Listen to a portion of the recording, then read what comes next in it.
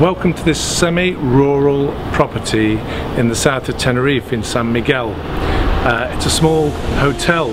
Uh, it consists of 13 bedrooms. There's a small restaurant, reception area.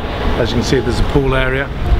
Uh, this is ideal for uh, rural tourism and uh, from here to Tenerife South Airport it's 15 minutes. From here to Los Cristianos it's 25 minutes. And you've got Golf del Sur, Golf Amarilla everything nearby.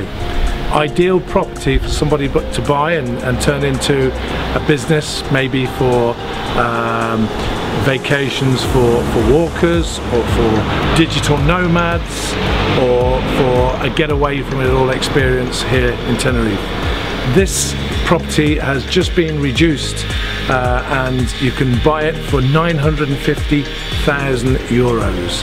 Uh, that's 13 bedrooms, a small separate apartment, a restaurant and reception with a pool uh, in San Miguel de Abona in the south of Tenerife. Uh, well worth a look if you're looking for a, a business opportunity.